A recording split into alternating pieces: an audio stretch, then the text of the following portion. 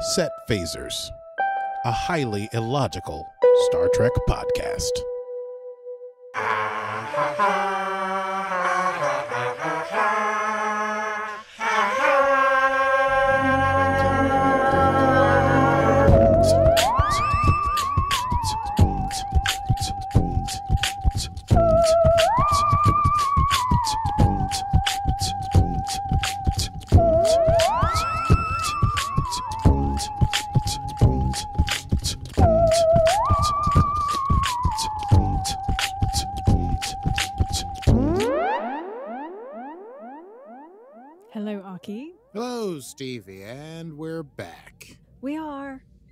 Late? Yes, but here nonetheless. And COVID positive. some of us are COVID positive. It's a toss up. And some of us just got off tour and are sleep deprived. Who knows which is which? Yeah, who knows? Does it even matter? What a toss up. No. We're here. We're doing great thing, great things. You look great. Uh, I look great. We both This- look great. This is great. Everything's This is great. We're great. Everything's great here. Everything here is great. In the land of set phasers, a highly illogical Star Trek podcast. and everything is also great in the land of strange new worlds. Yes. Or in the land of the Elysian Kingdom. Mm. Because today we're talking about uh, season one, episode eight of Strange New Worlds, entitled The Elysian Kingdom. Elysian t- Kingdom. The Elysian Kingdom is how I would like the title always to be said. Uh, it is Stardate 418628.7. And before we get into the whole episode, I guess we got to do our little preamble. We got to talk about Patreon. Patreon. Patreon. Patreon. If you would like to uh, participate in a uh, medieval, in fact, it's not medieval, a Renaissance Medieval. form Oh. of uh, supporting your artist friends, such as they did in the Renaissance period, not unlike the uh, episode from Strange New Worlds this week. You can join us on patreon.com forward slash set phasers, where we will get together, have Zoom hangouts. You can watch. I'm, I'm sure we should probably put on an episode about uh, Arky, Arky teaching us how to tie a bow tie. That could Oh, be our it'd next. Lovely. I, That would could- be lovely. I don't know who would enjoy that, but I would love to teach people how to tie a bow tie. I think just watching you do it and explaining it would be quite fun, and then we could go through your numerous bow ties, perhaps. Oh God, I would love to share my bow tie collection with people. Oh dear. Well, uh, in in order to do so, all you need to do is join our Patreon at patreon.com forward slash set phasers. yes, and you can have fun. Yes. Oh, and I'm home now, so maybe we can finally do some Zoom hacks. Yes, let's do some Zoom Yeah. hangs. Fun Fantastic. with bow ties. with fun with bow ties. Next Zoom hang, bow tie centric. So that'll probably drum our numbers up real, Oh yeah. real big. Uh, all right, well, let's run it down. Let's run down this episode, The Elysian Kingdom. It's time to run it down. Can you run it down for me? Tell me what just happened. Can you run it down for me? The Enterprise is conducting a survey outside the Jonesian Nebula. There's not much for Dr. Mbenga to do. So he's in his office scanning his daughter, whom you may remember is suffering from synechemia. She wants him to stop and read the story he always reads to her again. So uh, he does. But as he's reading the end of the story, why am I talking like this? I As he's reading know. the end of the story, it feels compelling. As he's reading the end of the story, Rukia, his daughter, says, Uh, this ending sucks. I wish it was different. I wish that Sir Adya and the Huntress would end up together, fighting for each other. But Dr. Mbenga explains that the king has been forced to choose between his greatest weapon, the Mercury Stone, or saving his princess. Uh, he tells Rukia when she's grown that she'll be able to write her own stories. And Rukia asks, when she's able to see, will she be able to see his quarters when he's better? And Doc says he'll show her the whole ship. Then he puts her back in the pattern buffer.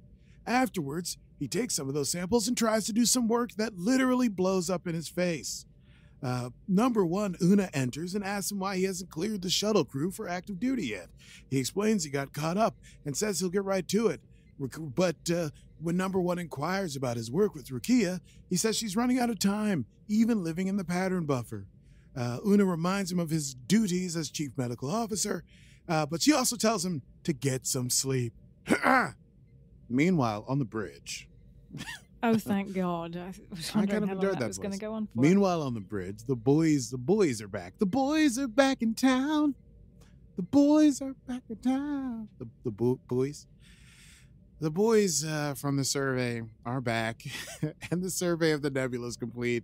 And Pike is happy that it was just a nice, calm, chill scientific mission. And Spock reminds him that hey, you know, humans are superstitious about you know talking about how good things are when they're still happening. And Pike's like, don't worry about it, Spock. I didn't know you were so superstitious. And then he orders Ortega to set course for the McNair starbase. And he says he's buying drinks for the whole crew. And he tells Ortegas to hit it. And nothing happens. Nothing happens. Uh, they try to figure out what's going on. It's weird. Spock reads that there's a small synch- synchrotron, sync, sync, synchrotron, synchrotron. I think synchrotron is the word. I don't know. Flux from the nebula, and it may be affecting the ship's ability to form a warp bubble. Uh, Pike calls down to Hemmer. Hemmer says, "Hey, the engines are fine. We got warp engines." Uh, and you know, he's like, "Maybe we try getting clear of this nebula uh, in order to be able to make a sustainable warp bubble, and then see what happens. We'll do it on impulse." Uh, so they try to go to impulse. The ship judders, rocks hard. Ortegas hits their head, falls down. Pike calls to Mbenga for an emergency uh, medical thing. The doctor is in his quarters, having you know taken that nap he was supposed to take. He says he's en route. Goes up in the turbolift, feeling really weird and tired and out of it. And when he gets to the bridge, it ain't the bridge. It's a Renaissance court, as Stevie said.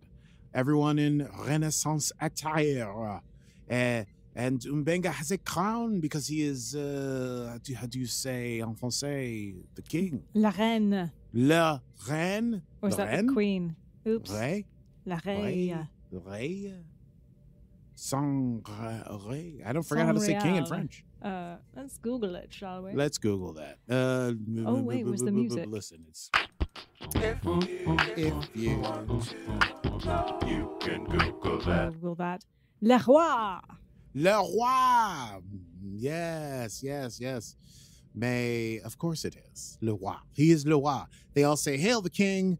Everyone bows, and we hit the credits. So, when we come back, Mbenga's like, uh, I was called here to check on Ortegas, and they're like, Ortegas, who are you talking about? Pike is there. Pike is sort of a, a sort of foppish lord, the Chamberlain, uh, what's his name? Routh? Roth? Oh, I uh, spelled Routh, but it's it's pronounced Roth or something like that. Uh, and he goes, Ortegas, you must mean Sir Adia. And there is Ortegas dressed up as a knight uh, with a sword and everything. And the doctor's like, What are you guys trying to play a joke on me? And then Pike, as Sir Amund Roth, uh, says, Oh, do you, if you want to hear a joke, we could call the jester. Uh, but Mbenga waves him off. And I do wonder who the jester would have been if they had gone down that road. Um, but anyway, uh, Pike uh, offers Pike slash Roth. This is going to be one of those episodes where I have to deal with people having two personalities, and bear with me. Ah, You have a? I think if they had used this person to play their opposite, if you like, then it, I think it would have been Hemmer. Right. If it had been someone completely out of place, oh, you think Hemmer would have wound up being the jester? Yes. Oh, that would have been so weird. They would have been weird, but everyone's Yes. playing opposite to character, so I think Yes, Hepper- Hemmer would have been the, the appropriate choice. This is true. But he was able to fend off, oh, not to get ahead of ourselves. He was a he was able to fend off the end, the entity.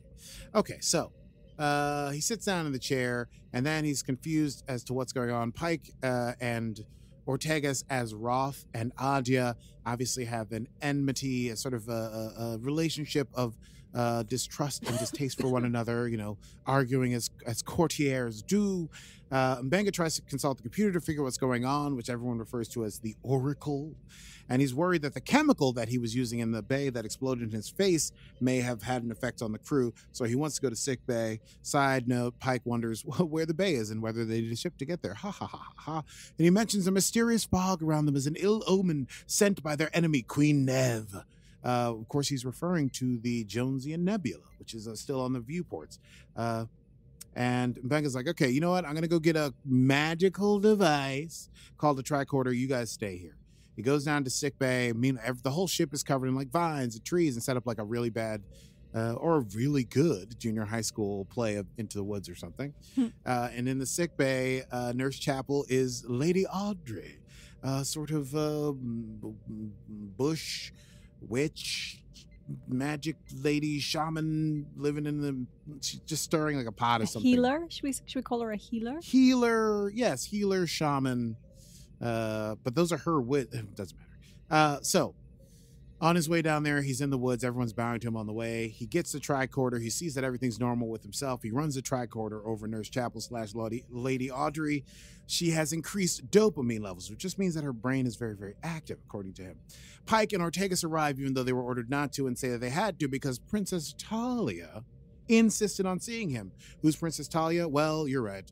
It is someone playing completely against type. La'an comes in as Princess Talia, total like uh, aristocratic, out of touch, holding a tiny lapdog that she refers to uh, like a baby. Uh, she says Nev and the Crimson Guard invaded her kingdom looking for the Mercury Stone. the Mercury Stone, like from the book. And she barely escaped her life and her dog, Runa. La'an says she showed up, uh, La'an slash uh, Princess Talia says she came to uh, his, to Mbanga slash he's king something or other, I forget already, uh, his kingdom uh, because she knew that he had the Mercury Stone. And she asks where it is, and he says, "Oh, it's safe," even though he's he's clearly lying. He runs a tricorder over La'an. She also has high dopamine levels. Meanwhile, Ortegas offers to lead an attack against the Crimson Guard, and Mbenga has to dissuade her. Just as that's happening, however, there is a commotion out in the hallway, and it's Hemmer being dragged away by the very same the the, the aforementioned Crimson Guard, who are led by uh, Mitchell, who was uh, working at the helm aside Ortegas. So uh, the two sort of like fighters for the two factions. Ortegas is fighting for uh, Mbenga, and Mitchell is fighting for this Queen Nev, whomever that might wind up to be. Uh, and Hemmer seems unaffected by whatever's going on, but he's dressed uh, nonetheless uh, like like uh, like Mbanga in character. He's the wizard Castor. Uh, he orders his release, but Mitchell doesn't follow orders, despite the fact that Lady Audrey's woods are supposed to be neutral territory.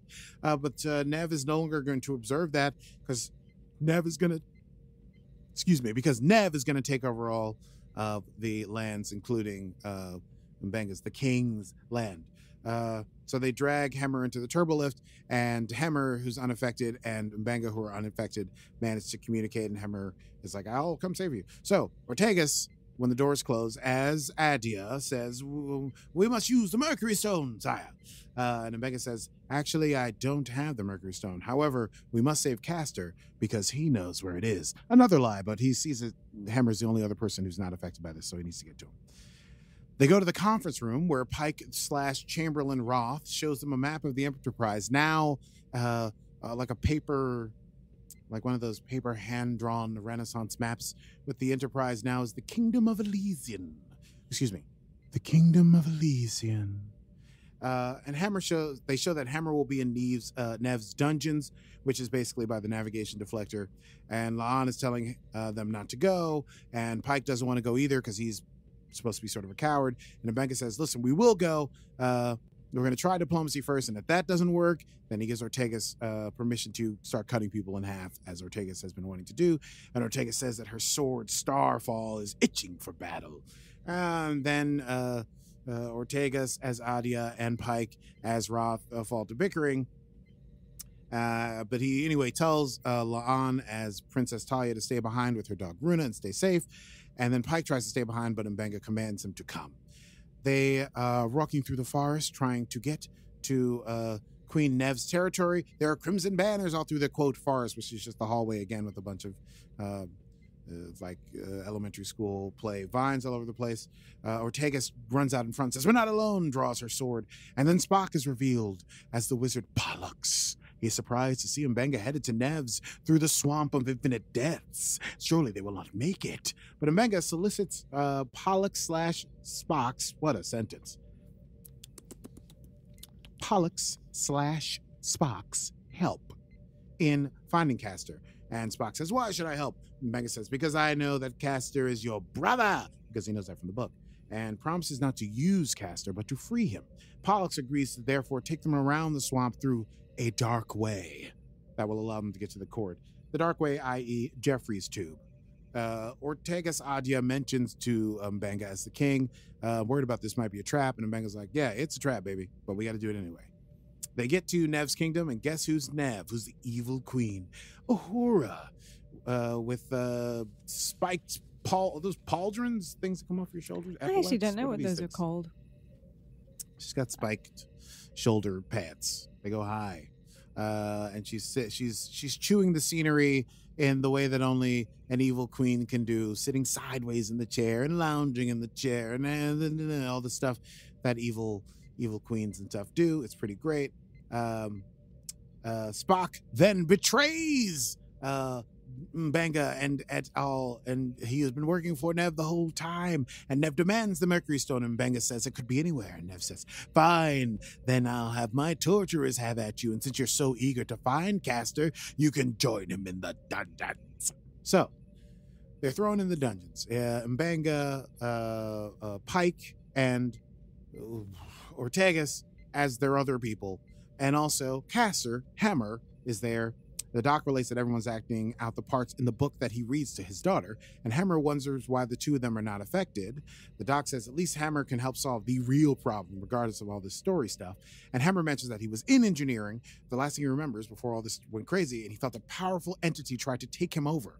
Uh, and maybe that same entity got the story out of the doc's head and is applying it to the ship. Uh, Hemmer says he couldn't recontact with that, reconnect with that enemy, with that entity because the first contact was so unpleasant that that's why he used his, uh, his, uh, what do you call it? Uh, psycho, psy- psy- psycho, psycho, psycho. What's what's it? You know, telepathic training uh, to keep it out of his mind. Uh, but he knows that the entity is not in the ship; it's in the nebula.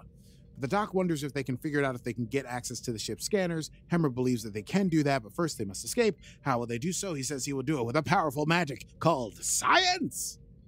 He has a laser cutter on him. So Hemmer goes to cut open the lock. Uh, he asks the the doctor what a human magician might say at that moment. The doc says, offers abracadabra. Hemmer uses it, says, nice, I like it. He tells others to look away because the blindness, the brightness will blind them. Of course, he is already blind. Uh, and when Pike asks, what about Hemmer? Hemmer says, I am a wizard. He cuts the lock and they get out. Uh, we find we flash to Nev, who's very upset about losing the prisoners, and instead of but instead of killing Mitchell, she sends Mitchell and the Crimson Guard with Pollux slash Spock to hunt the Doctor down and find out what they're up to. Uh, so as they finally get close to engineering, uh, the Doctor and all are blocked by Mitchell and the Guard and Spock, and Adia Ortega steps up to defend, and Mitchell says, "How will you defend? You're unarmed. You just escaped from the dungeons." But then, as one of the Crimson Guards comes forward, uh, Ortega beats the crap out of them and takes one of the swords and says that she's armed herself. Uh, Pike, uh, meanwhile, who's you remember playing a total coward, runs away. Uh, Hemmer's shocked, but the doc notes that Roth's character in the book is not known for their bravery. Ortegas is getting slightly overwhelmed. Mitchell comes in for the kill. An arrow flies, knocking people about and asunder. And uh, uh, Pollux runs for a retreat, and so does Mitchell, saying, This is not over. And who is their rescuer? None other than Una, as Zamira, the Huntress. Uh, so they hurry into engineering. Hemmer scans the nebula, discovers a single entity within no physical body, and asks Mbenga if he knows about the Boltzmann brain theory, which I shall supply for you, the listener, now. It is a spontaneously generated consciousness that forms without a body, and this may be one of them. Uh, if it got the story out of Mbenga's brain, then maybe severing the connection between Mbenga and this Boltzmann brain would end the effect. And Una, as the Zamira the Huntress, offers to shoot the king, which Ortegas interposes to stop them from doing.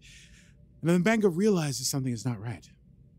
Because as you may recall from the cold open, Zamira the Huntress and uh, Sir Adia do not get together in the book. But it is what? Why am I talking like William Shatner? But it is what his daughter Rukia wanted to have happen.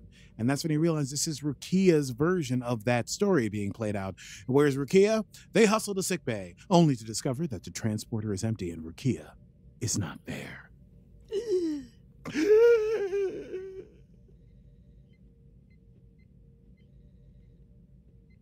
And Benga sees that. Sorry, I was still inhaling. And Benga sees that Rukia was was taken uh, from the transporter earlier that day and beamed somewhere on the ship, but he can't figure out where, and thinks she is the key to getting them out of the situation. Little does he know that Pollux, the evil wizard who turned from them, played by Spock, is waiting just outside his corridor. And he hears this and smiles to himself and goes to report to Queen Nev. Now, Nev is curious to know that the Mercury Stone must be this little girl of which they speak, and she says she'll take it for her own. How? well, her guards have captured Pike. So Pike is dragged in. He begs for his life because he's a complete coward. Uh, Nev says he can live, he just must be loyal to her. And he, of course, says, Well, fine, of course, happily. And he bows. Meanwhile, Mbenga et al. are working to try and figure out where Rakia was sent. Una, as the huntress, hears the call of the forest and goes off. Hemmer suggests that maybe they're looking at this the wrong way, and that maybe if Rakia is in charge of this whole scenario, where would she have wanted to go? And remember from the conversation also in the cold open that she wanted to see Mbenga's quarters, her father's quarters. So they rush there and are confronted by Pike, who detains them and reveals his treachery. Nev, Pollux, and the Crimson Guard reveal themselves.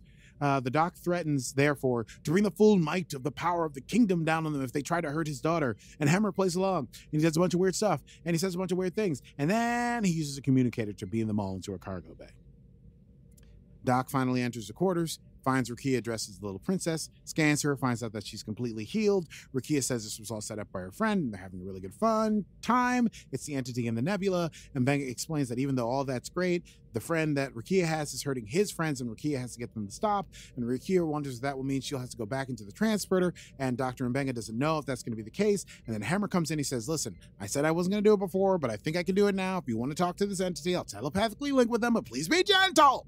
So he telepathically links with the entity. It looks a little painful, but then they start talking, and the entity says that if the ship leaves their area, Rukia will die. But the doc, so the doc must make a choice: either the crew will live or his daughter will live. Right? Uh, and the doc says, "No, no, no. There must be another way." And so the entity says, "Well, there is another way. Rukia could stay." And the entity offers, uh, "Could live in." Uh, the, the nebula with me, but without her body. The body is what's sick. The mind is still powerful, and the ship could go. Uh, so Rakia asks if the doctor can come too, her father, and uh, he says that he doesn't think that he can. That this is like the story that he must make a choice to save his daughter. Uh, Rakia, understanding that, chooses to go with her friend, where she won't be sick. Uh, Hemmer shakes, passes out. Light comes out of his body, surrounds Rakia, who says it tickles, and she goes flying out into the nebula. And then she comes flying back from the nebula, and she's older. And she says, "Hey, I've been having a great time with Doctor Deborah, uh, with Deborah, the entity, and you don't have to be sad, Dad. Even though I left a second ago, it's been years for me. Try to be happy. You did the right thing, and we're gonna meet again someday. And uh, I gotta go. Bye." And so she flies away again. But we get to see an adult Rakia, apparently, who looks a lot like her mother, which causes the doc to cry, but to be happy.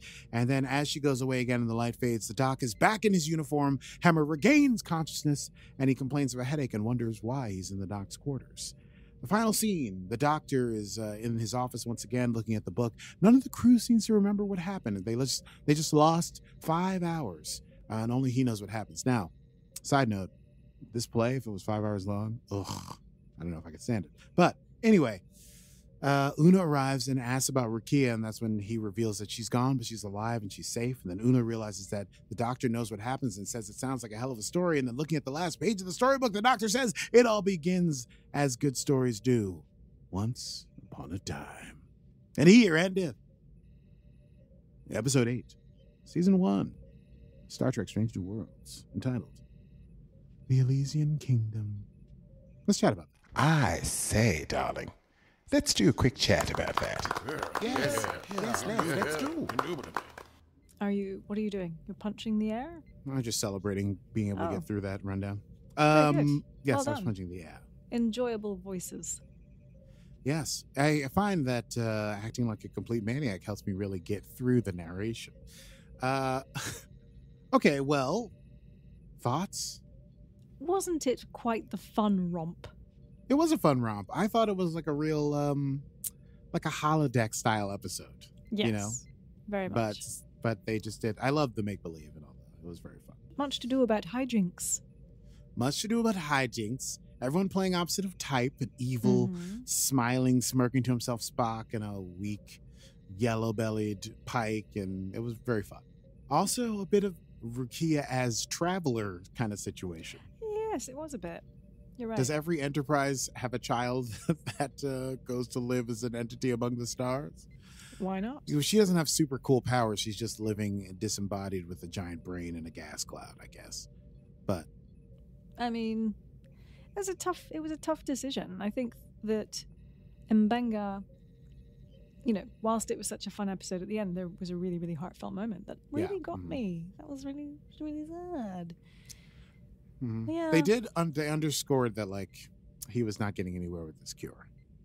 You know, and so it was sort of like she can live, uh, and that's kind of the option. Also, it's nice that he got to see her older. Like she comes back immediately and is like, "Hey, Dad." Right. And I think that was Yeah. the you've made the right decision here Yes, versus exactly. leaving it, which I feel like that's probably been the choice that Voyager maybe have, you know has made time and time again. Just like Mhm. the unknown, and you have to live with these decisions.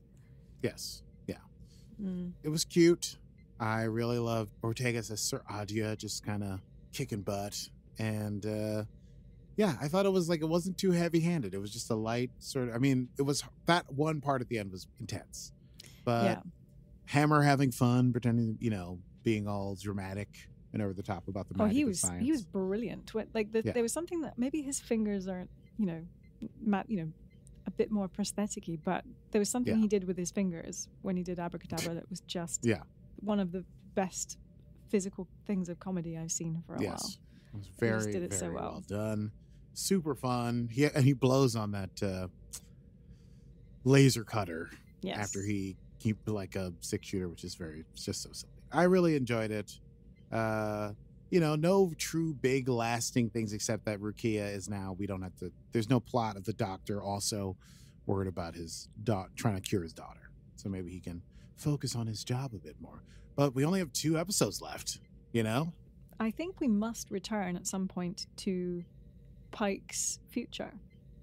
Because we haven't talked what about, if- we haven't, we haven't had a, a flash forward or a thought about that for a couple Yeah. of episodes. but we also have the uh, uh, La'an's people, the Gorn, the Gorn. That's true, the Gorn. Ooh, fun fact. Did you know that La'an's or Christina Chong's d- dog Runa was actually her real dog? Didn't know that. There you go. I'm, I'm I believe it because she truly manhandled that thing as if it was her own. So that's cute. It's also got to be fun to be like, oh, I'll just bring my dog. we need a part for a dog. And you're like, what about mine? Uh, that's lovely. Well, I think what happened was that her dog, she got a dog during the pandemic, doesn't everyone? And she started an Instagram for it, which has done quite well. Mhm. And then I think she asked the showrunner, because apparently they only got the scripts for this episode. They knew that this episode was coming, but they didn't get the script until like a night or two before. Mm. And when they knew it was coming, she said to the showrunner, "Hey, is there any chance? This, c- considering this is a pretty bonkers episode, is there a chance to get my dog in it?" So that's that's, what they did. And her dress, my goodness, um, Yes. they apparently that I, I imagine that was quite expensive because they did a, a balayage thing on it. Um, it was quite. I don't know what beautiful. balayage means. When's when you've got like two different colors and it's sort of like a, or like an ombre type thing. Oh, I see. Okay. Yes. Um, but yes, it was quite quite remarkable. Everyone had a lot of fun. But the dog, yes, Christina Chong's actual dog, Runa, Princess Runa. Runa. Oh, her actual dog's name is actually Runa. Yes, Well, that's cute. I didn't know Yeah. that. That's Yep. lovely.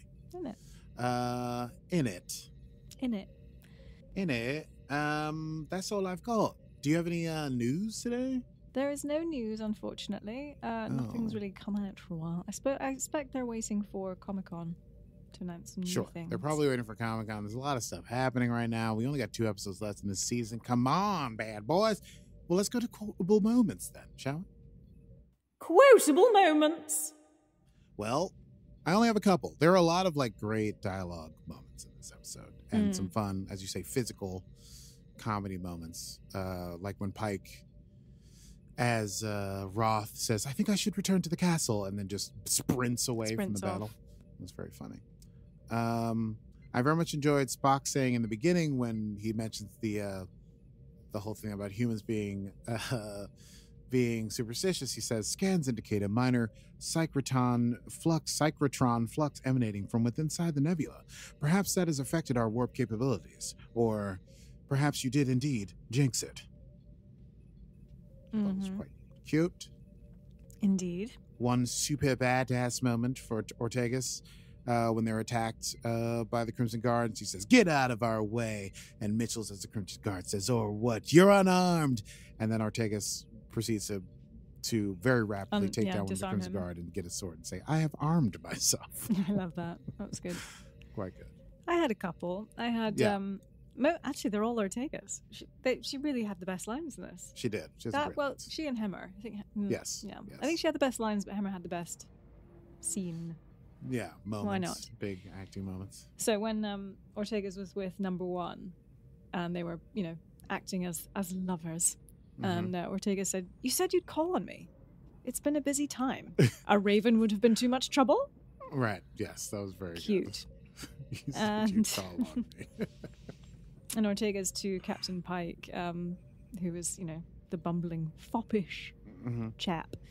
It's hard to hear over the sound of your trembling boots. I do remember that. That's a very That good a one. good one. Well, well, yes. And my last one was, uh, you know, when um, Hemmer gets them out of the, the jail with his laser, you know, pen.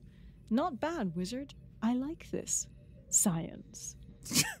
I like this science. Uh, and speaking of Hemmer, my last quote uh, that I enjoyed is when he says, "Turn away now, or I'll unleash the full power of my powerful wizard, Wizard. the powers. I'll send you to the event horizon." Uh, that was great. That was uh, listen. Those are quotable moments. Let's get into next time. Next time on Set Phasers. Oh hell yeah! I don't know. I thought I'd try something new. Oh, Uh. That's going to clip in the audio, isn't it?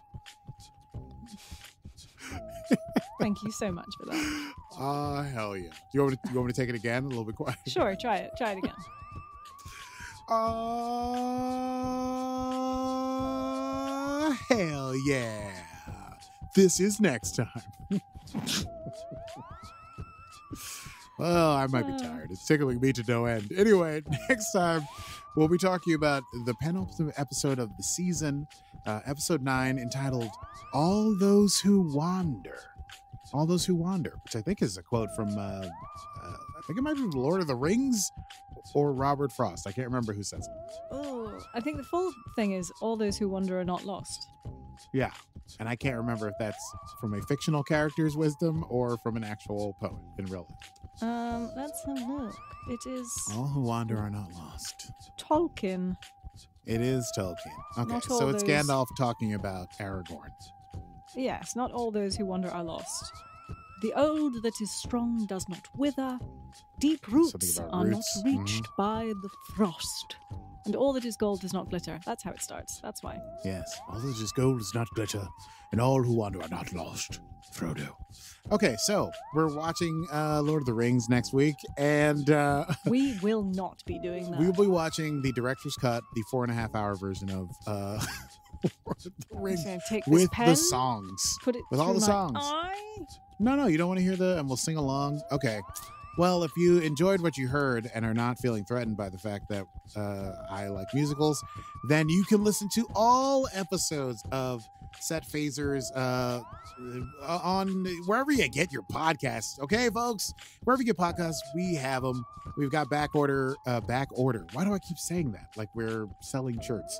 We have back issues. We have been dealing with every new franchise of Trek. That includes Discovery, uh, Picard, uh, Lower Decks, and now Strange New Worlds. Did I forget anything? I don't think so. I think those are the four we dealt with. Yeah. So, gosh, hours and hours of entertainment await you should you desire to do so. Mm. Uh, and you feel free to rate and subscribe, uh, or subscribe and then re- do whatever you want. But it would be nice to get some reviews up for that bad boy. That would be nice. Yeah, thanks so much. And you can, of course, follow us at Set Phasers and at Set Phasers Podcast on the Instagram and Facebook, respectively. Hashtag Meme Game Strong. Hashtag Meme Game Strong. We also have a website. I think it's setphaserspod.com. Podcast.com. actually. Setphaserspodcast.com. It's quite good. And it's a quite, actually, yes, it is a good is website. good. Just Yeah. go look at it, Did admire you, it. know, did you know you could leave us a voice note Hey, if you wanted you to leave rant us a voice us? note on our. Why aren't we putting that up top? Oh, Why gosh. You know what? The next two episodes of this show, we got to talk. Oh, shit. Do people know what number episode this is? Is this a Oh big! Is episode? this, Should we not it? talk about oh, it till next crap time? bags. Um, Let me just. I will. Let's I just will- say this is uh, we're approaching a third digit. we are approaching our third digit. our- it's very exciting. I think you might have said it, it might be this one. Oh, I think I fucking did. Oops. I'm. It's, it's really. Oh shit! Yes, this is this is 100, and I'm gonna sneeze. Oh dear. Ah, ah, you stole oh, it. You stole it. Ah. Oh, this is COVID. This is fun. My hundred, our hundredth episode is me with COVID, and you. Well, Uh, oh, I'm barely making sense. Yes. Um. Oh hell yeah. Well, we'll celebrate our hundredth episode some other time, some other way indeed. when we're not uh, sick. Uh, okay. Uh, I think this is the thing you do. Is it? What do I do? You Thank you say, for uh, you listening. I'm Stevie and who you, Goodbye. yeah. Yes. Thank you for listening. I'm Stevie Mans. We'll see you next time. And I'm uh oh, shit, what did I write? Oh, and I'm from a dark realm full of chaos and monsters. And this has been Set Phasers, a highly illogical Star Trek podcast. Computer. End program. Computer and program.